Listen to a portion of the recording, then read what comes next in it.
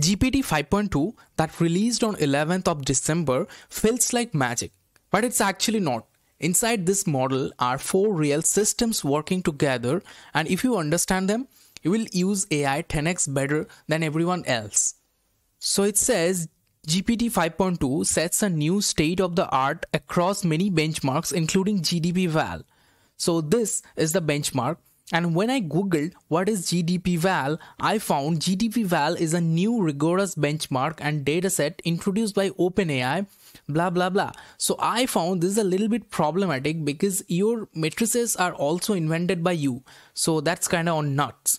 So that is not the discussion. Let's talk about real things. So first gpt 5.2 is not one thing.